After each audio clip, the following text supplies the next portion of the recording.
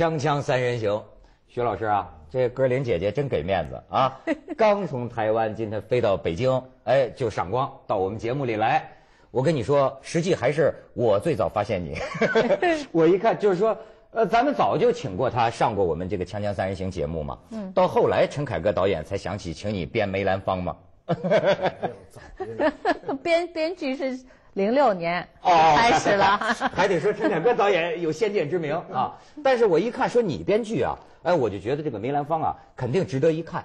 是吧，徐老师？其实啊，请您来，徐老师动意的，一肚子问题，想要跟你聊聊梅兰芳呢。因为我刚看了梅兰芳，嗯，我在香港看的，看完以后坐飞机的时候就看到一篇评论，在飞机上的杂志上有篇评论，他的大概就是说陈凯歌这么有名的导演，严歌苓有名的作家，他们的联手，这什么翘首盼望什么什么诸如此类这样。是啊，那所以一下飞机我说那聊梅兰芳那应该找找找编剧啊。哎，梅兰芳。呃，你你方便谈，比如作为编剧，你自己看到这个成片之后，你的感觉吗？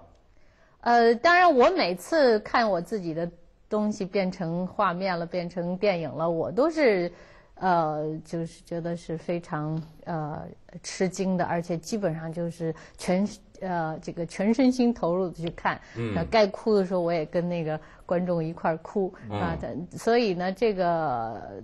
这个作品出来也是，反正是让我自啊，我我完全对对对，我自己非常非常感动。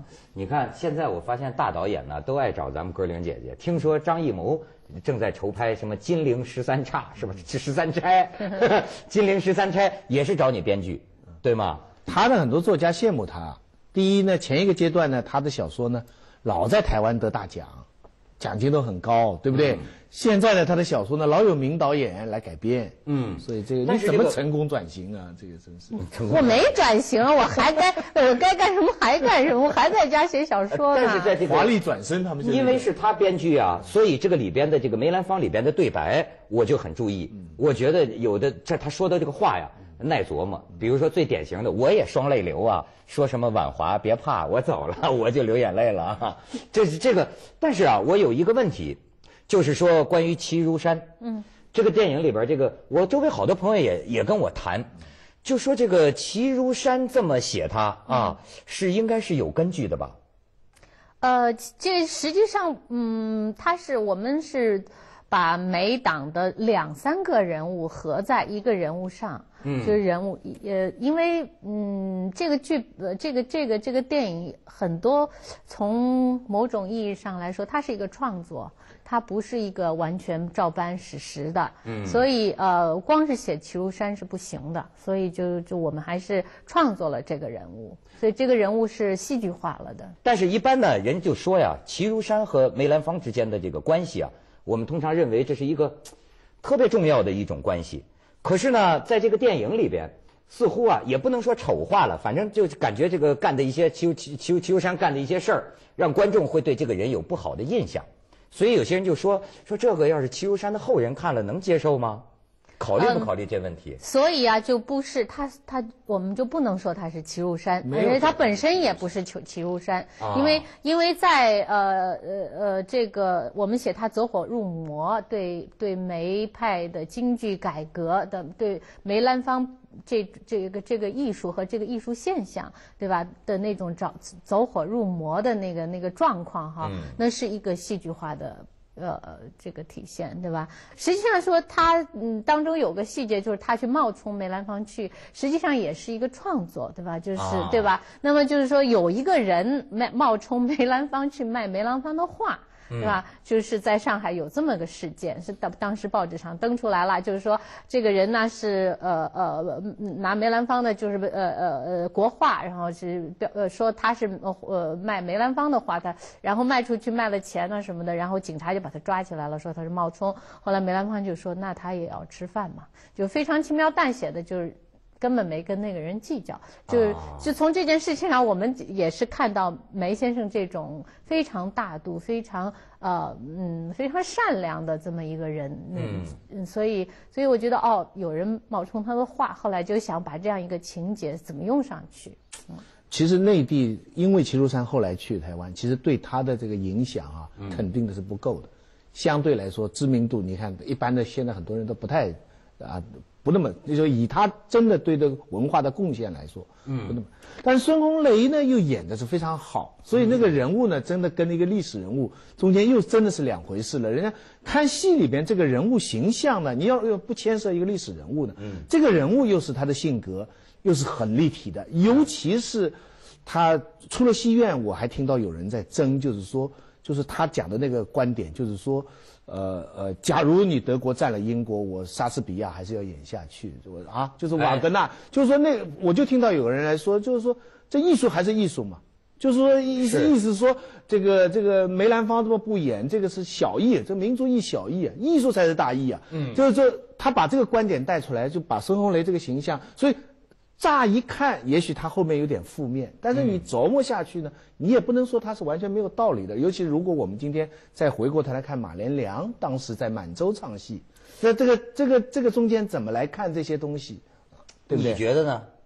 我觉得这是呃个人的境界，呃，那么齐如山是这样认为的。那么齐齐如山的境界是让他那样认为，他认为梅兰芳是一个神，对吧？他是一个精灵，嗯。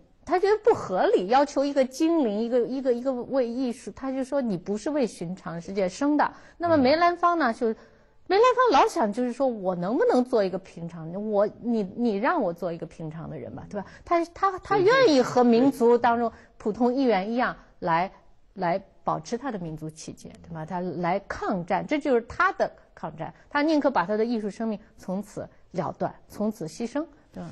对，所以就是让人觉得啊，让梅兰芳这个人让咱们这个感慨良多。我就觉得这样一个，就是说方方面面都照顾得到，都要堪称完美的一个人，乃至于民族气节都不能亏，是吧？听说不是有一次吗？他 坐跟就建国后了，坐飞机在经过台湾上空，你知道吗？当时可能飞机是出点事儿震动，梅兰芳就拉着他身边孩子手，跟身边人说说这这下我就殉了。你用他这个词儿，殉国的殉，你说明他心里这个东西啊。但是他又是一个那么醉心于艺术的人，你说在他心里，做人和艺术之间是什么关系呢？我觉得我读了他的那个自述，然后我就觉得吧，这个这是一个嗯，从来不会就是因为他的这种头衔和他那种呃加给他的这种呃这个这个京剧之王的这么一个一个冠冕哈，他会他会。失去他的平常心，他的 ego 从来没有养的那么大，就是说我们讲的那个自我呃膨胀的不行，对吧？就是说叫 egocentric，对吧？就用英文来说。你说这个一个京剧名角儿，就梅兰芳，这照咱的话说，也没受过什么系统教育，对吧？那么齐如山跟他之间究竟是个什么关系呢？呃，他们俩就是一个编剧，呃，一个一个演员。哎，对，嗯，齐如山，齐如山，当然了，他从西方回去，他知道这个这个销售的这个重要，所以他对梅兰芳的宣传，他把西方的那套也拿进来了。那种宣传啊什么的，兼带代理，对对，代理人，manager。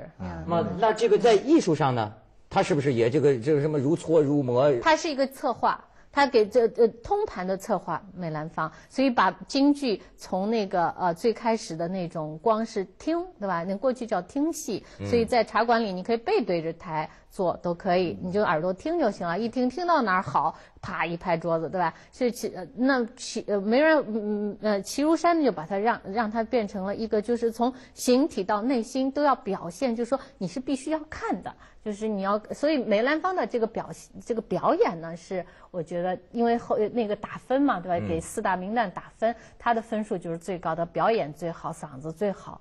对吧？就是说，这个这个就就就不同了，就是他把西方的那种表演内心体验给放进来了。哎呦，看来还是这身后有人呢，哈哈！咱们去一下广告，锵锵三人行，广告之后见。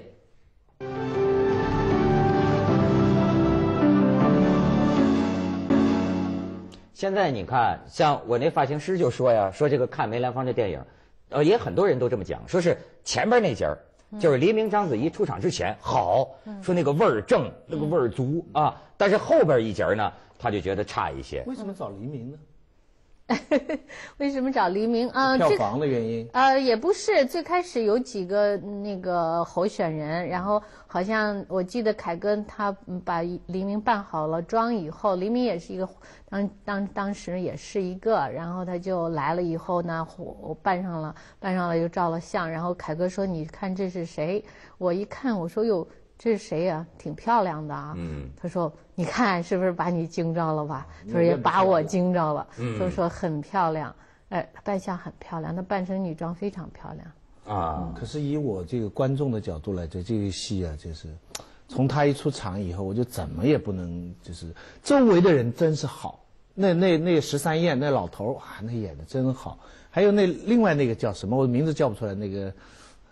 另外那个男的配角，费尔演啊，也也好，就是反正，总之就是黎明的戏就是，嗯，还还难能可贵了啊，难能可贵。我这这这这，我这我也理解，这个现在的文化工业，这个要投资，要要找到哪些名角，对不对？这些都是很重要。但是我是纯粹是从一个看电影的一个观众的角度来讲，实际上梅兰芳平时他是一个。呃，非常寡言少语的，然后非常文雅，别人的感觉是他是一个有学者气质的，像一个学者，嗯，是这么一个人。所以呢，我觉得黎明从外形到他的呃眼神，就基本上接近于有一点点就是非常无奈呀，就是呃被动啊、消极啊，就那种样子。就梅梅兰芳实际上是到越到后来越是呃被动，就是大家卷着他走的那个感觉。那么。梅兰芳实际上真正的闪光是他上了舞台，在那个那个 spotlight 上面，他是非常非常闪光，那个两个眼睛立刻就带，因为因为他的眼睛是眼神专门练出来的，就那个眼神到了就是越到后期就越好。眼神怎么专门练出来？他是因为小的时候就是说他是近视眼，然后他眼哎非常的呆，他的眼神小呃天生就是说他不是吃这行，那就是说呢那个呃那个那个那个祖。宗没赏饭给他吃的，属于这种孩子。然后呢，他呃就是养鸽子。后来他养鸽子就养到了，就是自己也就非常非常的投入，非常爱鸽子。嗯，就养鸽子就去练这个看鸽子飞。他也是无意当中就哎看鸽子，哎就发现自己这个非常的就是眼神就活了，非常。哎，这个人真是哈，就是他后来复出的那个美琪那场啊，我父亲跟我回忆过很多次。就是，就我父亲当时也去看的嘛，啊，就是说他留胡子啊这一段，我父亲跟我讲过很多次，就是说，所以他我父亲从小带我去看马连良嘛，嗯，但是一直跟我讲过这个事情，就是说马连良那个日本人那时候还唱，梅兰芳就不唱，我父亲那个时候是医院的院长，嗯，然后他就辞掉，就就做私私人医生了。我后来反复问我说，那时候你要是不辞掉，你你继续做院长，也没人会说他不好。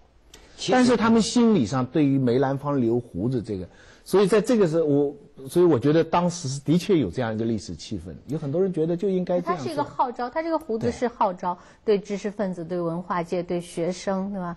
特别还有就是劳苦大众，对吧？就是梅兰芳不唱了，这是一个对对中国来说是爱，它是一个象征。所以白先勇也讲了很多次，他那时候很小到了上海就听他那个付出的那一场。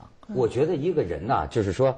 能意识到自己的是个角儿，能意识到自己的影响力，这是一个不知道该怎么形容的一个事儿，特别让人佩服。可是呢，你比如我也有一些朋友是明星，私下里呢他是想不通的，你知道吗？就为什么？就是说我凭我的才艺，我凭我的工作，对吧？我有没有承认过我是公众人物？我有没有承认过我是明星？你们非要强加给我？那除了我这艺术之外？他那意思就是说，凭什么让我对别的事情也要表现的像雷锋一样，或者像什么一样呢？对我在海滩晒晒屁股也不行吗？哎，是啊，就是有这个，而且啊，这个电影里其实隐约提出这么一个选择。你比如说，我记得像吴清源好像也有那么一电影，哎，他提出一选择，比如说日本打中国，那么吴清源当时这个在日本，吴清源也是想回国，说我的祖国现在遭受危难，我要回去。但是比如说他的围棋老师就跟他说。那意思咱就说文章千古事，就战争的胜败是暂时的，对吧？一百年后谁知道谁当皇帝？可是呢，围棋之道，那个意思是通天彻地。嗯，你看这就看出，在某个大时代动荡时代的时候，每个人他的这个考虑，嗯哼，确实是很难。我觉得这也是电影带给我们比较有思考的，也比较有深度的一个一个思考，因为这个是没有结论的。嗯哼，没有结论。当初藤野先生给鲁迅写字哈，小而言之为国家，大而言之为学术。嗯，对不对？这个我们从小接受的，但我总觉得从这个角度看，呃，我不知道当时史实是怎么样，但我总觉得后来日本人对梅兰芳的这个整个这个处理。好像还是太粗暴、太概念化了一点。这个电影的效果是当时是真是这样？梅葆玖真这么回忆呢，还是说，还是为了公众的政治正确要一定要这样拍呢？呃，当时嗯，日本人是给了他一点麻烦，但是不是就那个把他带走了，带走了和大概呃挺长时间的，然后去了，然后嗯，大概还是。呃，拘了他一阵子，没有太长时间。但是那些里边的那些场景，就把他关在一个破房子啊，那些兵这么粗暴的，对，这个是现在想出来的。哎，不是啊，我今天但是关键没有回，没有没没人知道他们怎么样了。嗯，我今天还看到一个小资料，也就是说说当年从香港到上海，好像说是日本人挟持他过去的。呃，有这么也也也有这么一说。那那个人有吗？后来自杀的那个日本人，就什么很爱京剧的那里边的那个角色，那是你们创造的。啊，那个那个呃呃自杀的那个是创造的。那当时有个小军曹把他领过去，然后。这个啊，就是咱要是挑剔的讲啊，确实咱就说这前半段后半段，也不知道为什么呢，到了这个后半段啊，我的一个感觉啊，就是。就是看出你这导演要干什么了，你知道吗？前半段呢是觉得完全融入在这个戏味儿当中，你知道吗？到后半段就是哎，这一段该表现梅兰芳的气节了，那上那一段该表现什么什么了。当然这可能是一种求全责备吧。嗯。但是我觉得是是不是想要表现的东西太多，最后会弄得有刻意之嫌呢？嗯，呃，其实第二段我自己写来还是觉得挺挺舒服的，就是挺嗯。你说孟小冬那对孟孟小冬和那个呃，就是他其实这里面有几个大事件，就是第一是梅兰芳陷入爱情，对吧？嗯嗯。然后第第呃第二个就是他要到美国去征服美国人去，然后嗯当中还有一个就是孟小冬忽然出来一个这个自称是孟小冬情人的一个男的，对吧？就在那儿打死了人。在结婚的时候，梅兰芳已经有两个太太了，那个时候。对对对。嗯，因为那个时候纳妾也无也无所谓嘛，是吧？那这孟小冬是他算妾吗？在那个时候来讲，算妾的名分吗？嗯，当时是这样子的，那个齐如山去游说了孟小冬的家家里人，就是说，呃，那个小东过去呢是要做大的，然后呢，就孟小冬家里的人呢也就同就很高兴了，嗯这样的。所以其实我们在写的时候也有一个。就是这两个人，你看怎么那么奇怪啊？一个是演生虚声的，对吧？呃，唱虚声的人是一个非常呃下来是个很很很像个女学生一样的一个很清丽的一个女孩子，很年轻。她那些照片我们都看起来就是就非常脱俗的一个女孩子，也，很漂亮。就是后来嫁给杜月笙了嘛？杜月笙啊，嗯。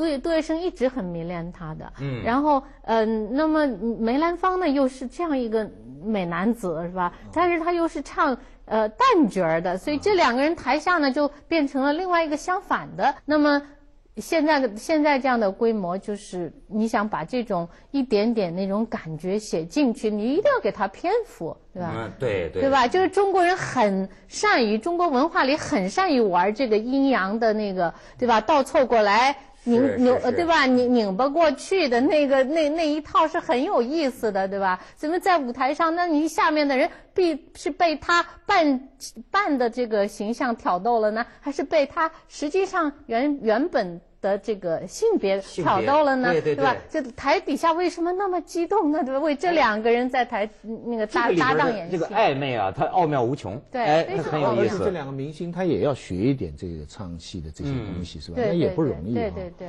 对，所以我就觉得这导演呢，有时候也是没办法。我就记得看一个就是意大利一个好像叫费里尼嘛，他这个自传，他就讲他的这个心情啊，他的能到什么？就说他呀。他的电影啊，他不的就有一次他拒绝去电影院看，为什么？他说电影院演的那个是按照这个发行公司的要求剪成了一小时四十五分钟或者两个小时。他说我心中的电影是三个小时的，嗯，我就认我这个，所以我不要去看那个被迫剪短了的东西。所以你看他有时候表达和篇幅啊，确实有矛盾。咱们去一下广告，锵锵三人行，广告之后见。